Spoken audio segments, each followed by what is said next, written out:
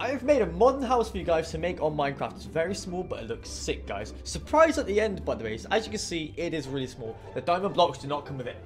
No. Anyway, so let's get to the top now. I got a surprise for you at the end, trust me. I know I made it only two high at the top. You can make it three if you want. I think it looks better with two. It stands out more like that, as you can see.